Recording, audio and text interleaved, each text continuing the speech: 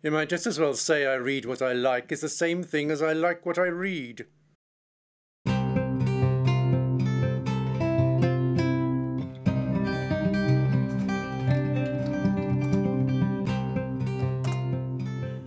They say, don't they, that everyone loves the music of their youth.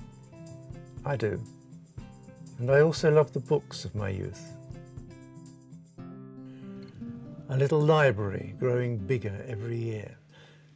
I don't so much live in a house these days as in a private library. Often I can remember where I bought a book and why, so the books become a sort of tangled history of my life. If I have a bad day, I try to avoid buying books because the book reminds me of the bad day I had. In some ways, the Medway Towns, it's one of the most literary areas in the country.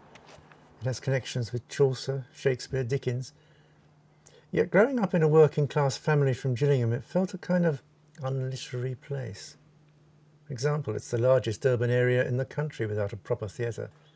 Finding a book on the internet, it's never quite the same as finding it in a real bookshop.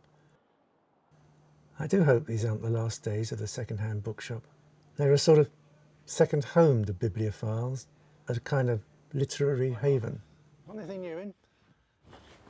There weren't any second-hand bookshops in this area when I was a child, except for one, where the books were piled so high that they caused spontaneous combustion.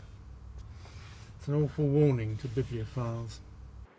There's one book dealer I'd known for 30 years. He died suddenly of a heart attack and on that very same day, a couple of hours earlier, he'd sold me a book called A Thousand and One Books You Must Read Before You Die. And one day I found in the same shop the programme for a rag day that I'd taken part in and a school magazine that I'd helped to edit. You never know what you'll find.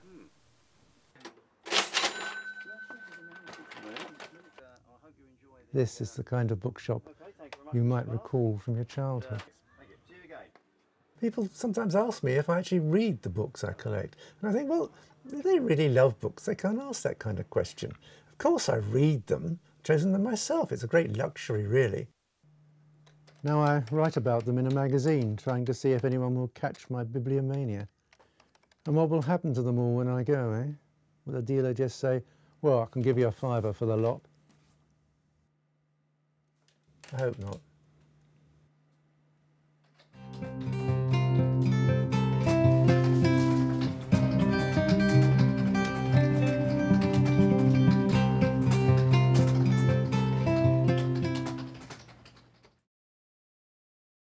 And deeper than did ever plummet sound, I'll drown my books.